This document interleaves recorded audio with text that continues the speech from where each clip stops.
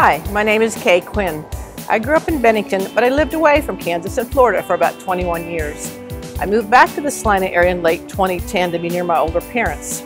And I loved coming to the Y to work out when I first worked at the then Salina Bicentennial Center, but so close, easy to get over here and exercise. After a while, I changed gyms looking for something fancier. And then a couple years later, I just stopped working out. Then my life really changed in um, late 2015. Both my mother and I were diagnosed with lobular breast cancer in the same month.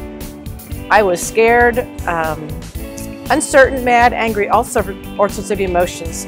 As we got our care plan figured out with our doctors, we both decided to have bilateral mastectomies, which we did, and then followed treatment plan with chemo and radiation. During my months of treatment, um, I lost weight, had fluctuating emotions, didn't have energy, and didn't have a lot of appetite.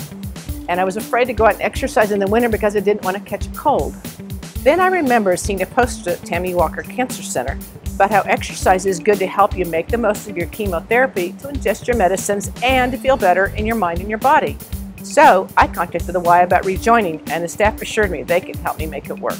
They even gave me consideration with all my medical expenses. I'll never forget the first day I walked back into the locker room. I was so scared. My body looked different. I was skinny and I felt awkward.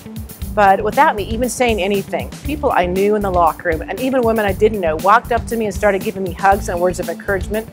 It brought tears to my eyes. Bonnie on the staff said I was brave to come and work out every day when I wasn't sure how I would feel or look, and pretty soon it just felt like a routine. The warm water in the shower and the enjoyment of swimming helped me relax get my mind focused on work as I tried to work during my breast cancer treatment time and helped my body feel stronger. I only started with a lap or two, but soon I could do more and I felt more capable and stronger and less awkward and scared about life.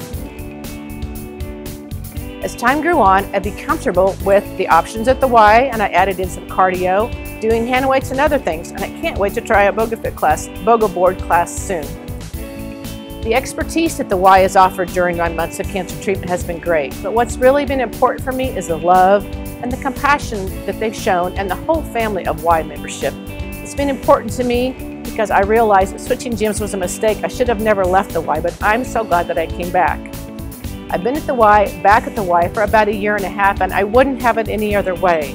I enjoy the new classes that the YMCA offers and the friendship and fellowship I see when I meet people other day. It's much more like a family than it is just a gym. I'd recommend the YM to anyone, and for me, it's been a lifesaver. Thanks to the YMCA, this is my story.